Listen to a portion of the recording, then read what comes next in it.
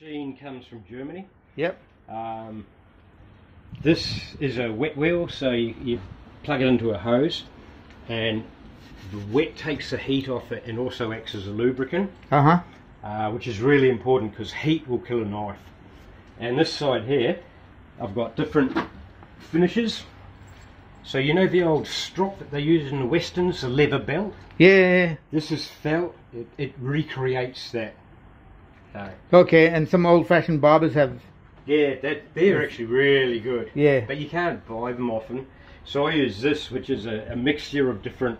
It's got like some rough stuff like this, but it's also got smooth on the inside, Yep. and that's what I'll, I'll put an edge on it again, and then we'll hone it, which is great. Okay. So Neil, how long have you been doing this? Well, Uh, I, I've been a chef since I was uh, 19 years old. I've Yep. always sharpened my own knives. Um, this machine I've owned for about five years now, and love it. It's good. cool. I can sharpen anything. You know, uh, invoice printers at the shops, Yeah. they have a little cutter in them, and it's a guillotine. Yes. I sharpen them, samurai swords, hedge trimmers, people's secateurs that they cut their gardens Oh, with. swords are actually legal. Yeah, Uh, under federal law, they're legal. Yeah. And federal law supersedes state law. yep. So Makes I- a bit I- of a noise. Yeah, I checked it out. It's okay.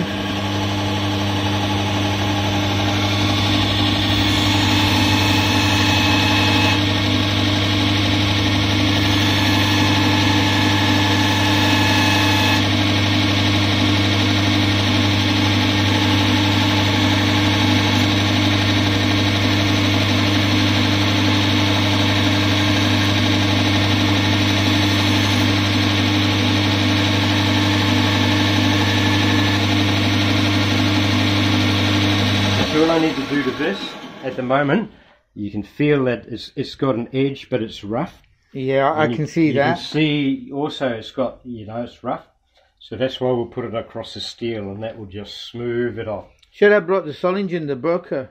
I should have brought that as well. Yeah, oh, Just look, to- anytime, to- to- anytime we can sharpen anything. No, I'm just saying. So you're not you, you're not going to use this wet one at the moment. Nah. If I use the wet one, I'll bring the bench near the sink and connect it to the hose. Oh, okay. Um, and that way we um, I can have Oh, continuous so fresh water, water. Yeah, yeah, yeah. Originally, it has a container and a pump, Mm. and it exits the water just straight underneath, Yep. and it, it rotates the water. And I found, you know, if if you're not clever at cleaning the machine, you get rust particles everywhere. Yep. And plus, you're rotating dirty water. So I use a you know straight onto a, a tap connection and just exit the water away.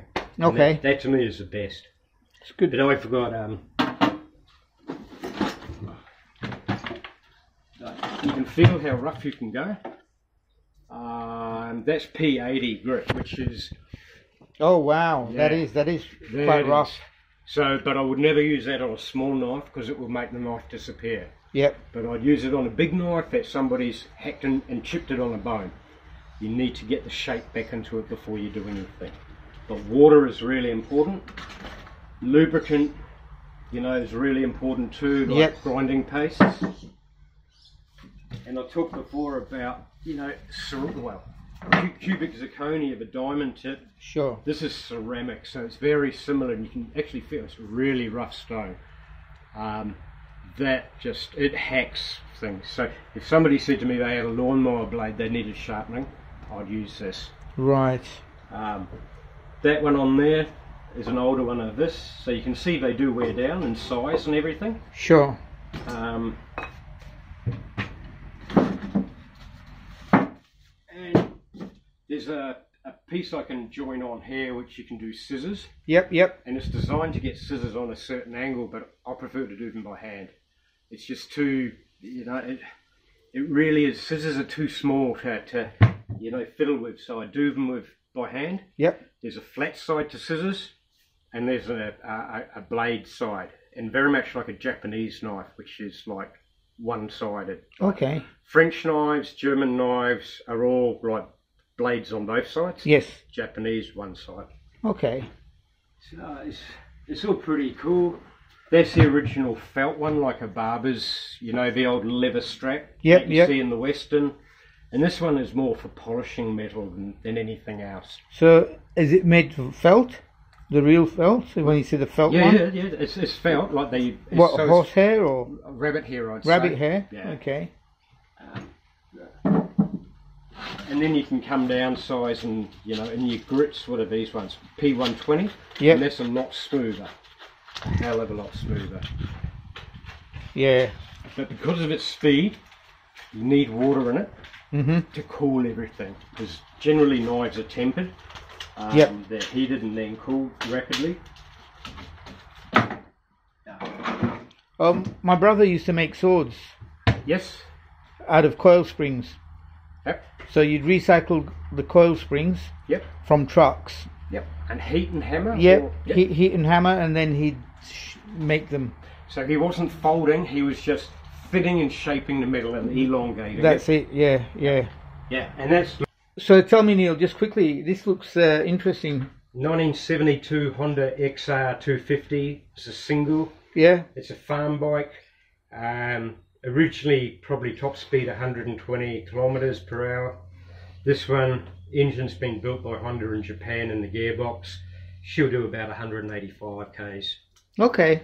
And it's Well, we'll we'll, we'll have to come back to that and Yeah. do, do another one sometime. There's an interesting cat. We'll come back to that someday. So, what are you doing now? I'm basically taking the, any ridges out of the metal Right. that we had put on there from downstairs. So that that's a stone, yeah. Yep, this is a stone. You've got a, a coarse side and a rough side, and you can see they wear down pretty quickly. Sure. Um, and now I'm just going to put it over the, the steel just to give it a, and you can hear it. Yeah. And as I go, I'm getting more of an angle on it. I'll come back the other way.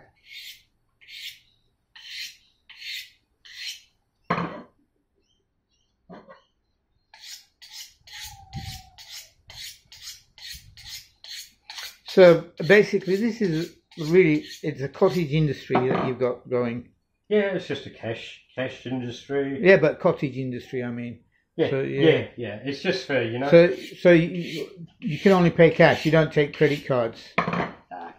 Why don't you get a credit card machine? don't want the tax department to find out anything.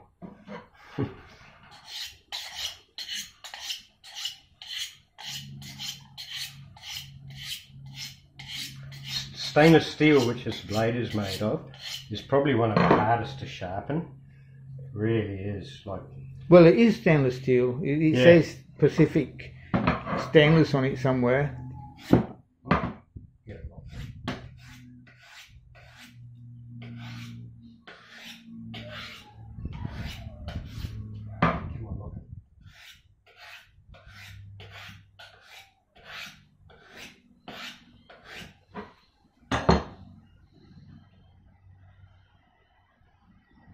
Smooth but not sharp enough. I'm going to take it back down and give it Oh man, sharp.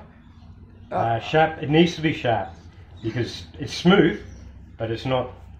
Downstairs it was sharper. So Ah, here you can see this. yep. You, you That's I cut my thumb with that. oh, okay, but you ran it that way. Uh, no, when I- I, I think I was cutting some kind of gourd, Yep. right? And maybe as I was slicing, well, left hand, but anyway, as I was slicing, I went like this, and, and my thumb was in the way. So, but yeah, I think it was sharp. Probably not as sharp as you'd like it to be, but I'm listening to it and it's not. There's different noise on both sides. And what should they both be the same timbre? We're starting to get there.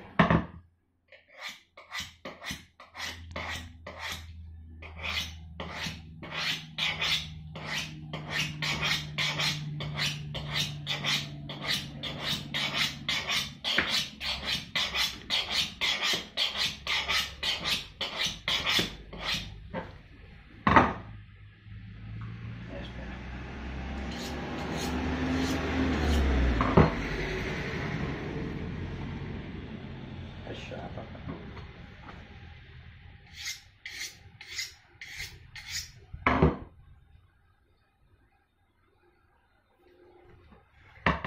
Funny with knives, you get to a point and then they go backwards, they go blunt again. And sometimes you just put them down, walk away, come back and think about what you're doing.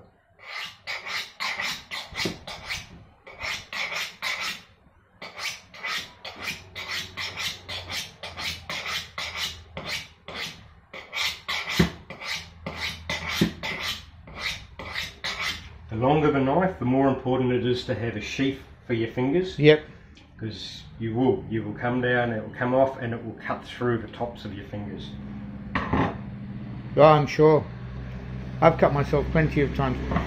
Uh, uh, look, I mean, that's part of having a knife well, see, Yeah. see this finger here. yeah I mean, okay, it's cut now, but in the army, I think I chopped it down here like this.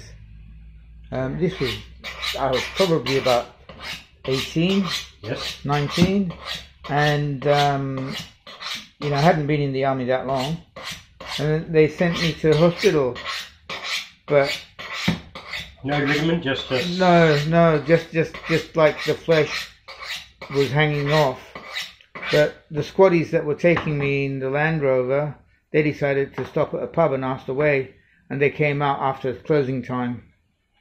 So, so they said, "Look, we're a bit drunk." you can see the scar across here Yep. it, it was uh, this knife here. This knife is my oldest knife. I've had this for a long long time since I was 18 and I was cutting pumpkin and it's not a flat surface. No, I know. and the pumpkin shot and my major cut was here. I went through the bone there's a metal rod ligaments. They cut here and rejoined the ligaments. This one was just across the top and this one was a nick but it was severely um, so I'm pretty lucky that they they did the right job and put it all back on Mm-mm. but it was two-thirds of the way through um, it's when I had my um, delicatessen my catering business Yep. very annoying because it was close of business and a lady came in, a customer, can you peel my pumpkin for me? It wasn't even my food. And then you went to you went to hospital the evening. I drove myself and lucky for me I went to not a hospital, I went to a private one and there was a gentleman just hopping into his Porsche in the car park and he saw the towels and the dripping blood and he said, I guess I'm not going home. And he was a plastic surgeon. Oh, good. So he, he, he did a fantastic job.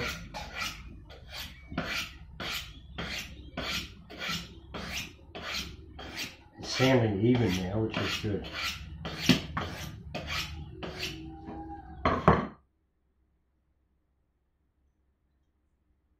It's almost there.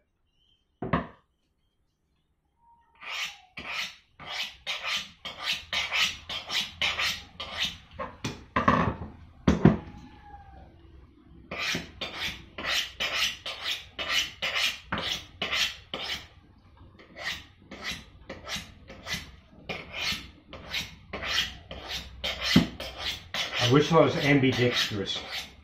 If I could do this in both hands. I'll teach you how to get ambidextrous.